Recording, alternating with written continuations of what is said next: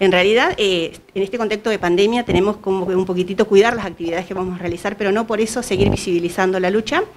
Así que con un grupo reducido de mujeres vamos a hacer una intervención en el barrio Badén a partir del puente, a las 15 horas nos congregamos, dos o tres por agrupación eh, y vamos a hacer colocar un pasacalle en memoria de Cristina Callecul, porque ese fue el lugar donde ella fue asesinada. Eh, intervención de, lazos con cartelerías, vamos a repartir también folletería que llevamos, y una intervención de ropa con, justamente nuestra consigna, ni una menos.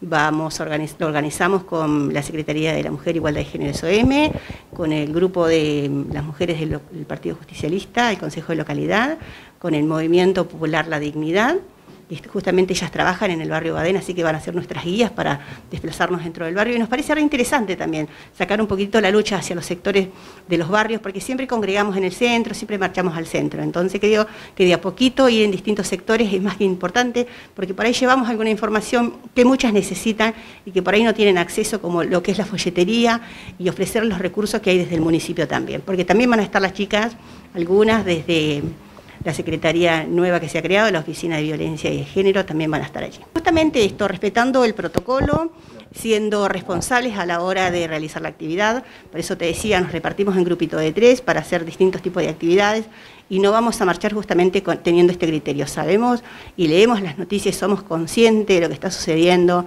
en la comunidad y creo que sería muy poco solidario para nuestras compañeras y para la comunidad en general, eh, seguir subiendo un problema, hoy está lloviendo, igual vamos a hacerla, pero imagínate, nos enfermamos, vamos a caer al hospital y tenemos que tener esta sororidad también, porque hay muchas compañeras que inclusive son parte del Consejo de la Mujer que trabajan allí y conocemos la situación. Entonces nosotros por eso mismo realizamos esta actividad bien diseñada tres o cuatro por grupo nada más y con actividades ya específicas. Cada una sabe lo que tiene que hacer. Yo recuerdo haber participado en la primera marcha en Una Menos, eh, trabajando en cultura, siempre colaboré con el Consejo de la Mujer y conocí un poco la problemática, pero el día que ingresé aquí al Consejo y empecé a recibir casos que fueron eh, a partir del 16, realmente me sorprendió, no conocía lo que estaba sucediendo, es una realidad a la cual yo estaba totalmente alejada y la verdad es que te remueve muy íntimamente todas las fibras, yo digo, a partir que el caso de, Cami Figueroa en mi vida personal es un antes y un después. De hecho,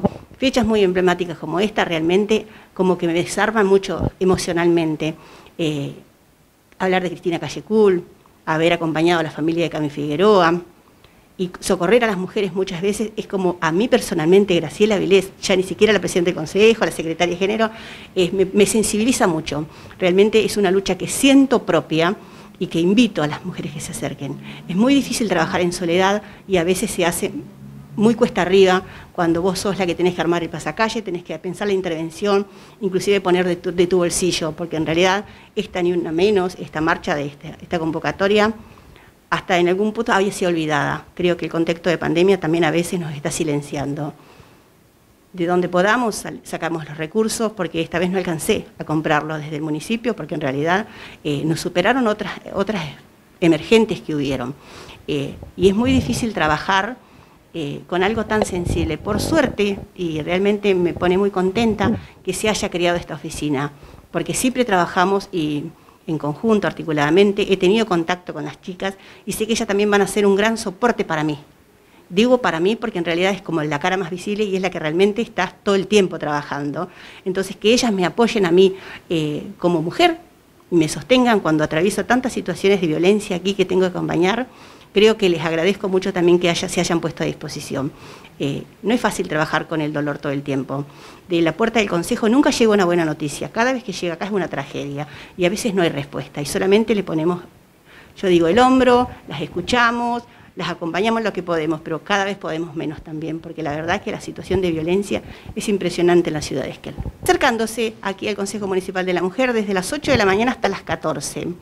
Después, a mi teléfono, que es público, está en todos los lugares, porque hicimos una intervención, me acuerdo, de la tarjeta roja, así que está en todos los baños públicos, en las, eh, paradas de colectivo, eh, o me contactan a través de la página del Face del Consejo Municipal de la Mujer.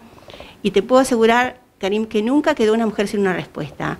Aunque nos hayan llamado un domingo o en la madrugada, todos los días se leen los mensajes y a todos se le trata de dar una respuesta. Que a veces solamente escucharla, pero al menos saber que están acompañadas y que las podemos derivar a los lugares que corresponden. que se acerquen acá. Hay privacidad, hay confianza, se trabaja muy articulada con la oficina de, la municipalidad y también con lo que es la comisaría, sobre todo con la, comisaría comunitaria, con la policía comunitaria, con la comisaría de la mujer. Acá encuentran un lugar las mujeres de confianza, de contención y de acompañamiento real. ¿Sigue sin teléfono el consejo? Eh, sí, la verdad que nunca tuvimos. Cuando yo ingresé allá por el 2000, fines del 2015, había un teléfono de línea, luego un rema, nunca más nos dieron, así que el teléfono que circula es el mío particular.